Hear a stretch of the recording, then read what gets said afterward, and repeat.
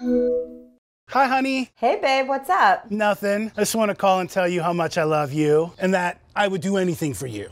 You fixed the air conditioner again, didn't you? Yes. Okay, I'm gonna call Albert Services. You're so beautiful. I love that color on you. You're officially annoying. I'm hanging up It now. really brings out your eyes. Bye. Call Albert Services now. We've been fixing what your husband repairs for over 20 years.